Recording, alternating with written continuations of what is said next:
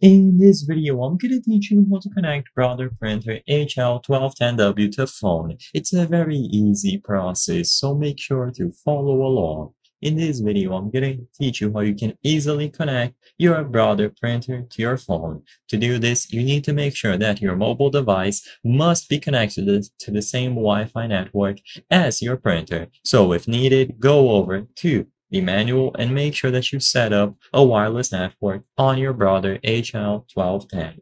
Once this is done and both your mobile device where you have the application needed and the printer are on the same network, you will be able to start. So to do this, you will have to use the Brother iPrint and Scan mobile app. You can find it on the Play Store or the App Store. So download Brother iPrint and Scan. Now open the application and usually you will get a pop-up that you need to set up a new device. So you can tap over here at the bottom and you will be able to set up the HL1210. So as you can see, we have the option to set up machines connected to your network, machines not connected to your network, or use Wi-Fi Direct.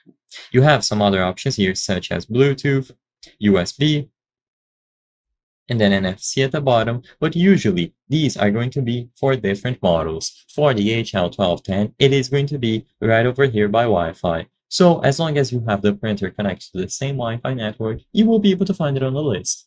Now, sadly, I don't actually have an HL1210 at this exact moment to demonstrate this process, but as long as you have the mm-hmm. machine connected, you will be able to find it on this list. You can also tap the set manually option and then use the IP address here as needed, but like I said, for the most part, Wi-Fi is going to be more convenient. And after that is done, you will be able to tap print and then start the process of printing anything that you wish on your HL1210.